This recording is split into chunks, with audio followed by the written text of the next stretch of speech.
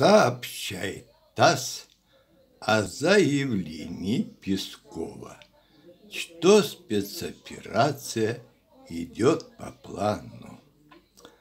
Кстати, я за ходом этой спецоперации предпочитаю следить по телеграм-каналам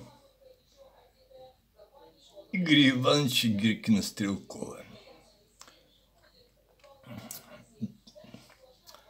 Но я в эти дела не вникаю, потому что не стратег. И вообще творится в мире что? Не по барабану. С пословицей, когда в хвосте начало, то в голове мочало. Записями клипов не торопиться, заниматься. Заставляет моей жизни приближающийся уже к концу забег. Да, погода